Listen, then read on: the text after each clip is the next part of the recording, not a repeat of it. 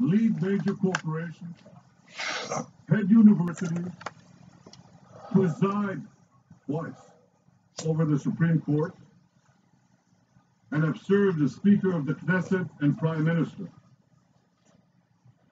And this uh, circus continues at UNESCO. UNESCO, the UN body charged with preserving world heritage.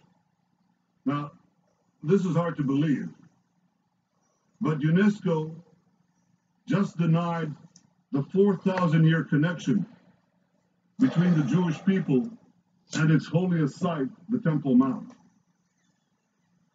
That's just as absurd as denying the connection between the Great Wall of China and China. Ladies and gentlemen, the UN, begun as a moral force, has become a moral farce. So when it comes to Israel at the UN, you probably think nothing will ever change, right? Well, think again. You see, everything will change. And a lot sooner than you think. The change will happen in this hall because back home, your governments are rapidly changing their attitudes towards Israel. And sooner or later, that's going to change the way you vote on Israel at the UN. More and more nations in Asia, in Africa, in Latin America, more and more nations see Israel as a potent partner. A partner in fighting the terrorism of today, a partner in developing the technology of tomorrow. Today, Israel has diplomatic relations with over 150 countries. That's nearly double the number that we had when I served here as Israel's ambassador some 30 years ago. And those ties are getting broader and deeper every day. World leaders increasingly appreciate that Israel is a powerful country with one of the best intelligence services on earth because of our unmatched You can't experience stop it. and proven Yeah. capabilities in fighting terrorism. Many of your governments seek our help in keeping your country safe. Many also seek to benefit from Israel's ingenuity in agriculture, in health, in water, in cyber, and in the fusion of big data, connectivity, and artificial intelligence. That fusion that is changing our world in every way. You might consider this. Israel leads the world in recycling wastewater. We recycle about 90% of our wastewater. Now, how remarkable is that? Given that the next country on the list only recycles about 20% of its wastewater, Israel is a global water power. So if you have a thirsty world, and we do, there's no better ally than Israel. How about cybersecurity? That's an issue that affects everyone. Israel accounts for one tenth of 1% of the world's population.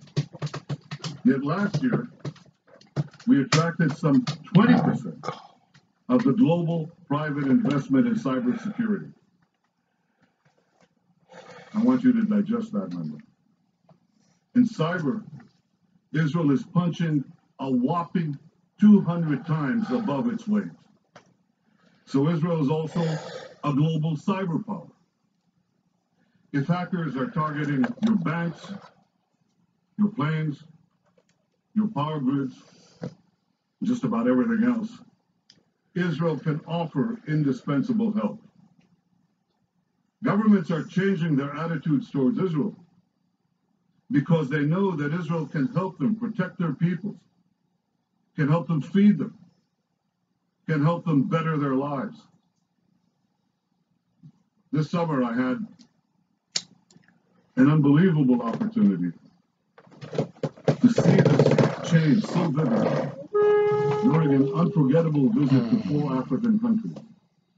This is the first New message uh, received from Africa by an 40404. Prime Minister in decades. Later today, I'll be meeting with uh, leaders from 17 African countries. We'll discuss how Israeli technology can help them in their efforts to transform their countries. In Africa, things are changing.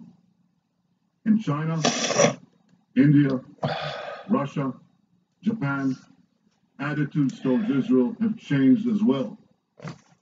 These powerful nations know that despite Israel's small size, it can make a big difference in many, many areas that are important to them. But now I'm going to surprise you even more. You see, the biggest change in attitudes towards Israel is taking place elsewhere. It's taking place in the Arab world. Our peace treaties with Egypt continue to be anchors of stability in the volatile Middle East. But I have to tell you this for the first time in my lifetime, many other states in the region recognize that Israel is not their enemy. They recognize that Israel is their ally. Our common are Iran and ISIS. Our common goals are security, prosperity, and peace. I believe that in the years ahead, we will work together to achieve these goals, work together openly. So Israel's uh, diplomatic relations are undergoing nothing less than a revolution. But in this revolution, we never forget that our most cherished alliance, our deepest friendship, is with the United States of America, the most powerful and the most generous nation on earth. the most generous nation on earth other than to its own people. Our unbreakable Gave him bond 38 billion. with the United States of America transcends parties. We gave him 38 billion. How much did we give uh Iran, David? Oh, No, you- 150 billion. Uh, David, how much we give the, the Mexicans? David, I wish you to be still. The David, I want you to be still. the United Nations. The United States supports it. And a central pillar of that defense has been America's consistent support for Israel at the UN. I appreciate President Obama's commitment to that long-standing U.S. policy. In fact, the only time that the United States cast the UN Security Council veto during the Obama presidency was against an anti-Israel resolution in 2011. As President Obama You pushed it down too far, David. that peace will not come from statements and resolutions at the United Nations. I believe the day when Israel will be able to rely on many, many countries to stand with it at the UN. Slowly but surely, the days when UN ambassadors reflect that, those days are coming to an end. Ladies and gentlemen, today's automatic majority against Israel at the UN reminds me of the of the story, the incredible story of Hiro Onoda.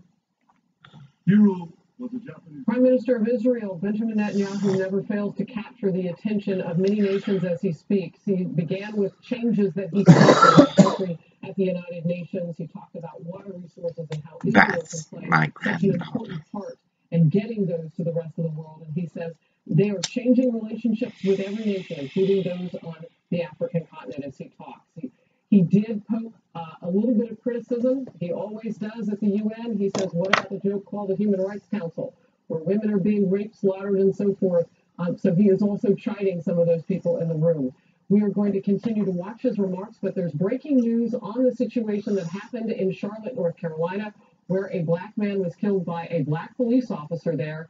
The Attorney General, Loretta Lynch, just made remarks on Charlotte. We want to go to that and watch.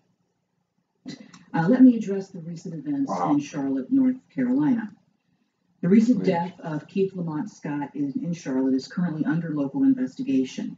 We are, of course, aware of the tragic events that resulted in his death, and the Department of Justice and the FBI are currently monitoring that matter. Now, for the second day in a row, protests in response to Mr. Scott's death took place in Charlotte last night, and for the second day in a row, those protests were marred by violence this time leaving one person on life support and several individuals injured. An awful reminder that violence often only begets violence. Now, the details of what happened last night are still under review by local authorities, but today, the Department of Justice is sending four members of our Community Relations Service to Charlotte. Our Office of Community Oriented Policing Services has also offered technical assistance and support for crowd mediation to local police and the local FBI office stands ready to assist local law enforcement as well. But let me also speak to the people of the state of North Carolina, a beautiful state, a great state, and my home state. I know that these are difficult times, and I know that the events of recent days are painfully unclear and they call out for answers. But I also know that the answer will not be found in the violence of recent days let us all seek a peaceful way forward. Now, most of the demonstrators gathered last night were exercising their constitutional and protected right to peaceful protest in order to raise issues and to create change. We need your voice. We need your passion. We need your commitment.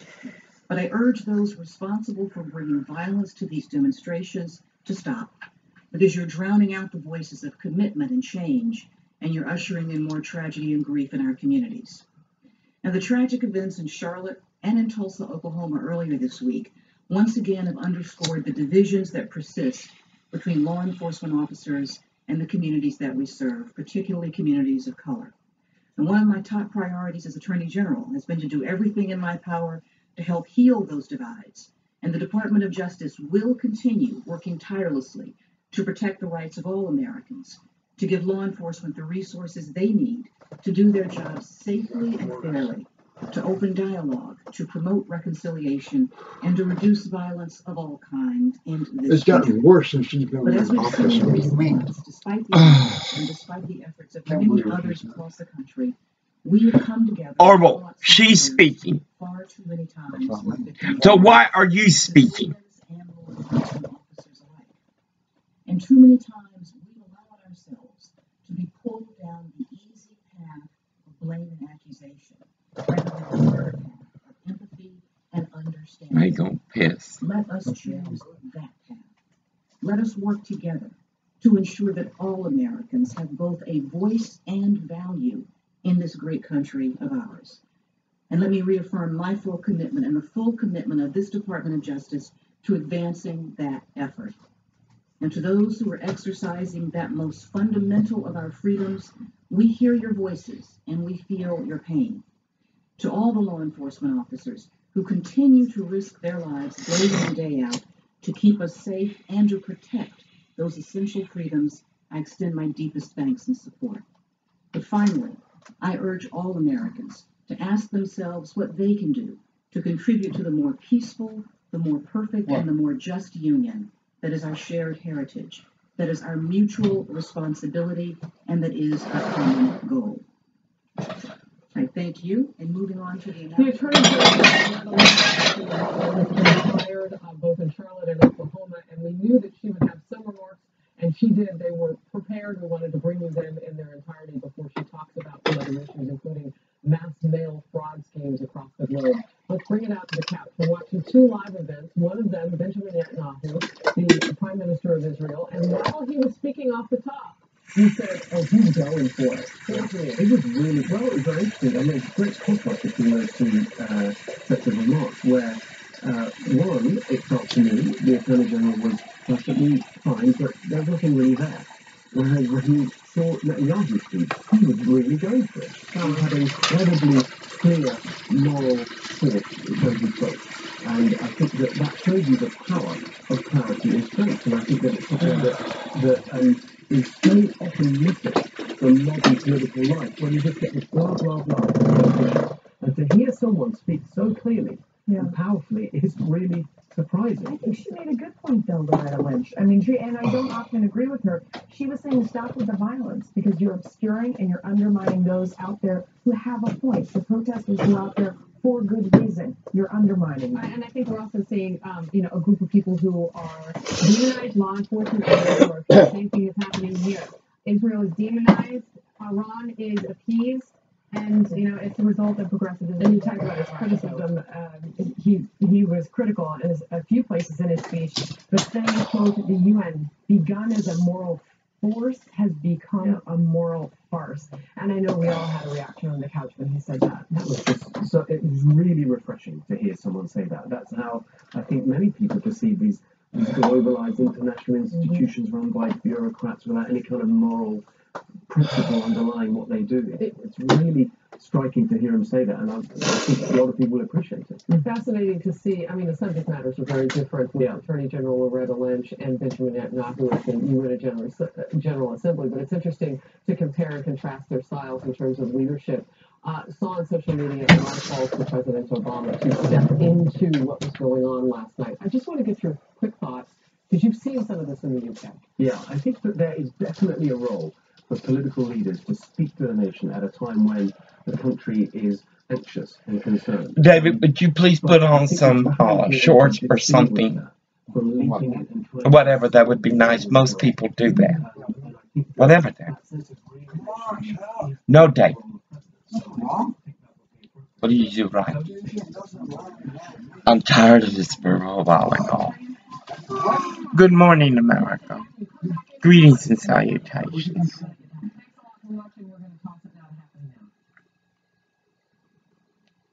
I see what's happening as y'all do. First of all,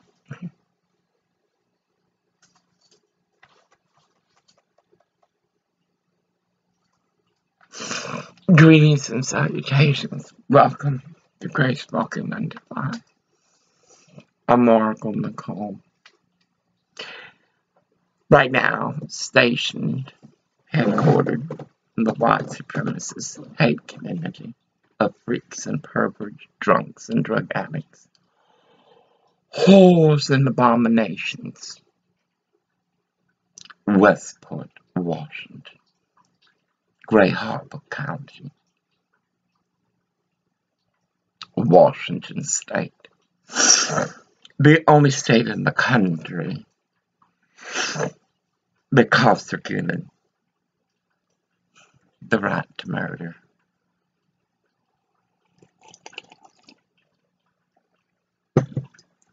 Black America.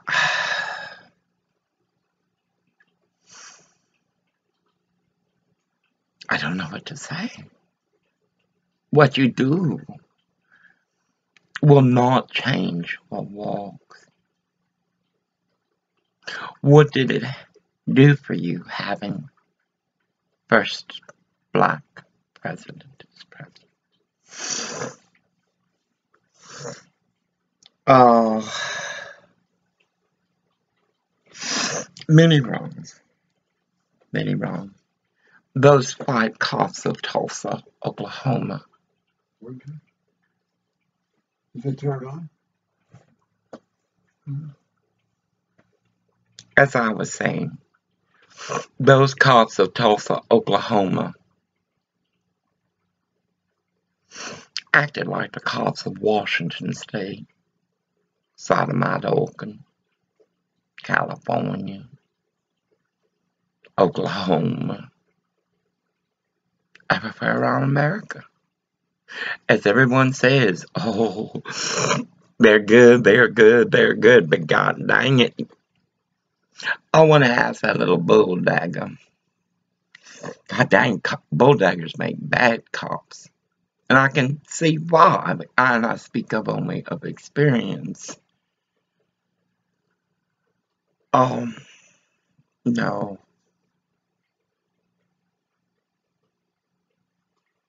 Cops, these are your fault. You're the highly trained. You're the one that should be held at a higher standard because you're militarized like that little bag in Tulsa, Oklahoma. Why was her camera off? Why aren't these cameras on all the time they're in that call? Huh? Why? Mamá, ella. ¿Por qué?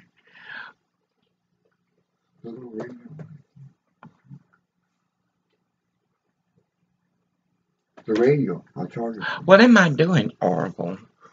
The beach. Huh? What am I doing? What you have to say is more important than this, You don't have the radio. for the beach. and he can t- he can't fall. That's the way y'all are. Will I walk in pace with this abomination? It's you. It's you. Well, I can put this abomination in housing, get its entitlement check, but it's not my place to stay with this abomination. It's not my fault y'all broke him. Y'all broke. You can see it in the whores and the queers and the drug addicts of a population of 2,099. 90, I think. Survives Black America. You see we're fucking walking for generations upon generations of generations, carpetbaggers. What you gonna do? Tear, tear the apart? You heard the AG? That's a bunch of unmedicated bullshit. I'm not able to exercise my constitutional rights. Either in the hate community of Westport, Washington, Aberdeen, Washington, Hoquiam, I am proud, and I'm going to try very little to go back to that library. You go back and the God's going to tell you why. Mama, ela, porque these people aren't worth shit. What happened to my Audrey Hepburn? They got this wide piece of shit young girl working, evil, nasty. God dang, it's like I'm in here at the Na- Nazi library for dinner. I tell you, you can't ask them bitches nothing. Their printers, they, they don't have enough ink in them. They're not aligned properly. No, nothing, nothing. And that's done from the printer side. So that means that bitch at Hoquiam I Am Proud Library. No, I just fucking gave up. I just got up and walked. Gomer's gonna sign this today. Today I call you, senior Center in Aberdeen. I want to know where I can get this notarized for a very minimum price. I am a disabled senior. Surprise. In Hood, Los Angeles. I think it was 261 days. People peeped from Richard Sheridan Apartments. 261 days.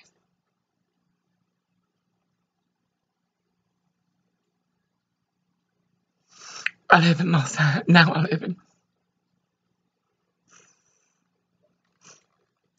Y'all be blessed. And motherfuckers. Everyone that comes to me, I want to take a picture of you. You hear me? You hear me, motherfuckers? And, um, on time. I got a civil suit against the states now immediately. Uh, I'm going to first file a complaint with their civil rights, whatever the fuck they call it. Uh, I began to look for a civil rights attorney. A.G. Lynch, bitch. I don't have a foundation like the Clintons, but I called your motherfucking office in sodomite Oregon. The cops were bad there too, motherfuckers. H.E. Lynch, you will send one of your subordinates as the Clinton Foundation and you will come down here. You will reinstate my civil rights in this sanctuary state of hate. Do you hear me, madam? Or not? Suffice. Uh, we must move forward quickly. He has no option. I like the idea of having money. Oh, to survive.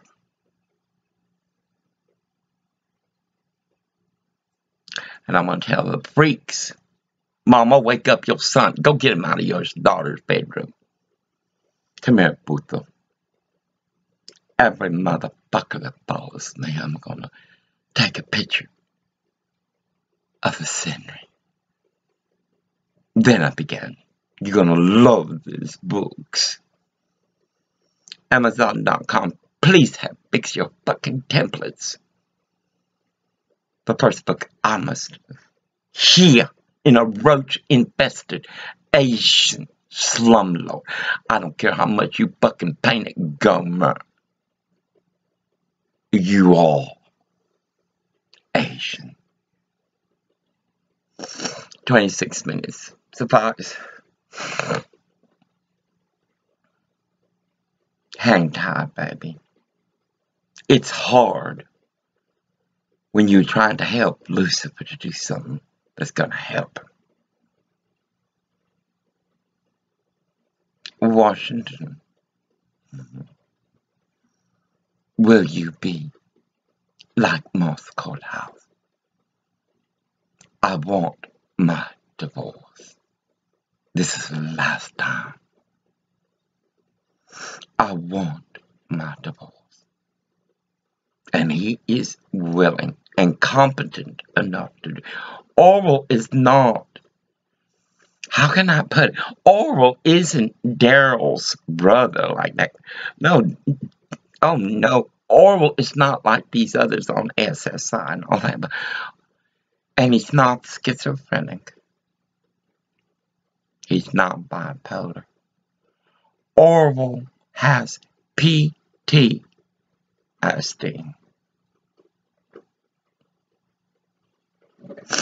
And his symptom is not depressed. He'll weep, but he's not depressed. It's like he sees a dead bird or a crab or what. Then this thing about things seeing him, these are medications that can be light. Now, Washington white trash, they need hardcore Thursday.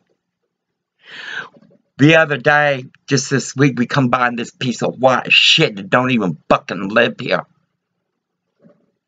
Coming by here like that little drug addict. Look, listen, you freaks. I'm buying me a camera I'm gonna put out there so when y'all come by my window, you fucking freaks. 64 uglier than sin. You freaks.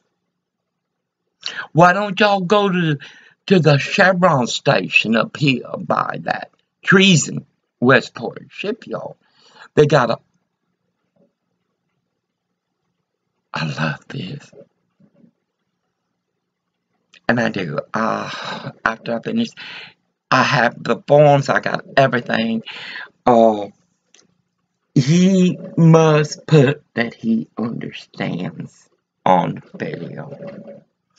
Not only reason why, la mai, like, por qué, but what are his options? Orville has PTSD. The voices now is PTSD. It's about uh we gotta get all this done. It's just too much. And today I gotta go get that money order. Uh I'm gonna tell them they got to get it directly from my account. My account is sound for my entitlement check, the most weak and lowered, I think, by Sheba of Aberdeen, Washington. I have the paperwork, baby. Guess where you send me them? Seymour. Hold on tight, motherfuckers. Black America, I'm gonna show you how to take care of shit like this white trash. I'm gonna show you. You don't tear it up. Oh, baby, but this shit, uh-uh. Uh, I want my case and his case brought up to a federal level. I, w- I don't want it to go to state level. This uh, blue state is as corrupt as Los Angeles, California, Oregon. White people, cause you like your goddamn white country, cause it's your country. You do what you want. I remember that bitch, uh, Kathy from the Aberdeen City Council. There ain't no, no racism. Bitch, you got a contract with the state for your menagerie of cruelty. Bitch, let those doves fly. Anyway, in grace of God be blessed in a man and a man. And freaks, you follow our photo. Okay? I love scenery shots. Black America. You gorgeous calves. God. Even all of said, burn them down. That's scary. Burn them down. Oh, country. These cops are highly trained. Therefore, like Gomer Powell. Did you see him? Don't he look like Mad Max? Put the sack back on. Maybe he'd be a little bit. No, they're white trash, born white trash. Evil. Black America. It's not gonna change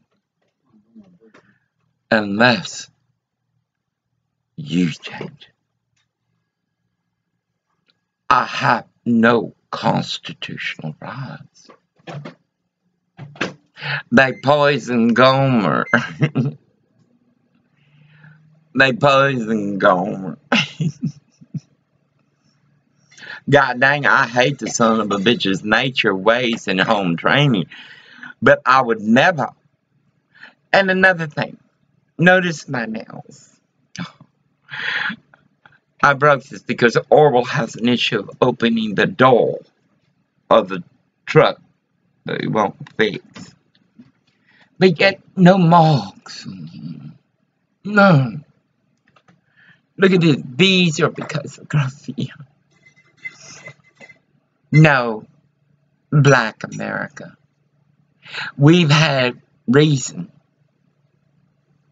a long time. Because we are not black, but we are minority. We are denied housing in a white supremacist community. Aberdeen Rental Connections, white racist trash. Aberdeen Relative, same goddamn thing, like cat. Anyway, we gotta get ready. I gotta go do some things. And get the, I gotta get that mail. Thank God I'm a conehead. Or I would not have had the money to fax it.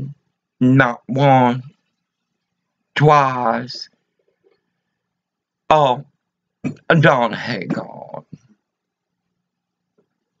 That's Frank Deluge. I have the right. Facebook. We are strangers. We are friends in what healthcare has done to us. I have the right to name the Jewish doctors of the cream of the cream of Hood, Los Angeles.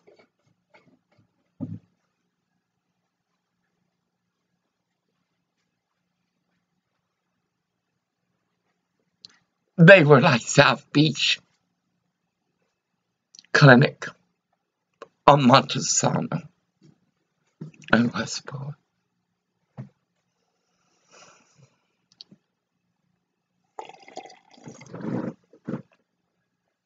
You have less than thought to rescue me.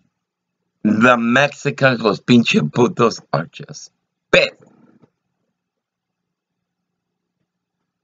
And los gringos, oh, you know them.